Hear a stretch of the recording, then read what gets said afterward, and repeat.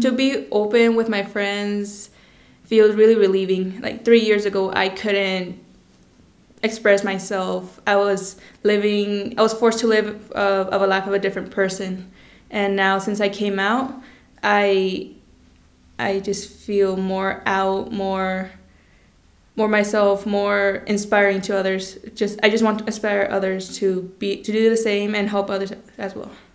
Uh, at my school, Pajaro Valley High School, we could create uh, have uh, gender neutral bathrooms, which we so far we almost got this close to having but we're still working on it. And I know we'll be facing more obstacles on the way, but I know together we will be able to, to overcome them and actually have and to be safe and feel comfortable and be stronger together. I believe I I started to discover my identity uh, in fourth grade. A lot of people said it was just a phase, and it was I was too small and young, so I just forgot about it.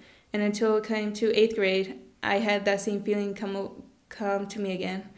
So I just I just began to accept myself, and I never told anybody. I didn't even told my best friend because I just feared that I would be losing them, and also anybody else that was close to me.